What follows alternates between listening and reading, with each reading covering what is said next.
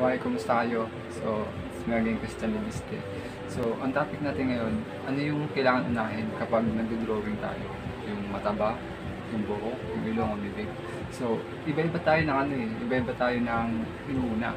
Meron ako, na, meron ako nakikita na inuna yung mata. Mostly talaga mata. Tapos, yung iba naman buhok.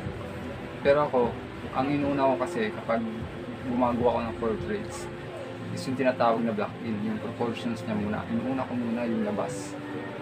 Tsaka ako papasukin yung loob, yung buhok, yung mata, yung ilong, yung bibig. Kukunin ko lahat yun.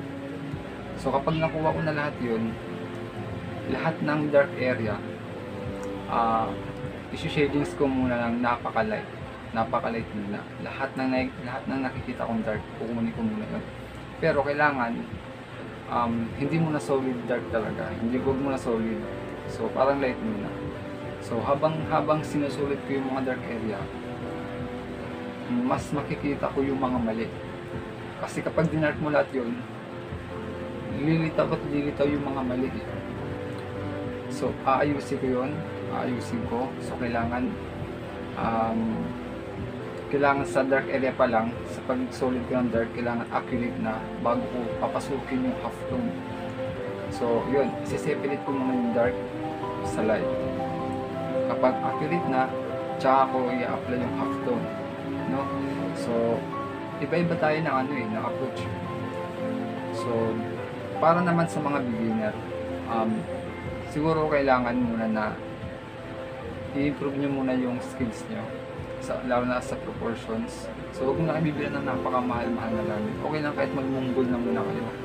Tapos, tsaka kayo mag-practice muna. Lahat ng techniques, pag-aralan nyo. Lahat ng value, kailangan yung value. Malinis, smooth. No? So, ito kasi itong dinodrawing ko, itong, ito yung model ko. na- ito yung charcoal na, gina, na um, ginagawa ko ngayon. Charcoal. So, kailangan kapag gagamit kayo ng charcoal, ang kailangan yung paper niyo is mataas yung GSM nasa 300 or 200. Pero depende, depende kasi sa papel eh. Ito kasi papel na ginagamit is napaka ito napaka-expensive. So kailangan yung drawing ko dito, kailangan solid talaga. Hindi, hindi pwede sayangin. So, ipapakita ko sa inyo kung ano yung mga kailangan unahin sa pagdodrawing, yung sinasabi kong dark. So, ito yung inyo. Okay, so kukunin natin yung value niya dito sa bandang leeg. Itong part na to. Okay, so kukunin natin yan.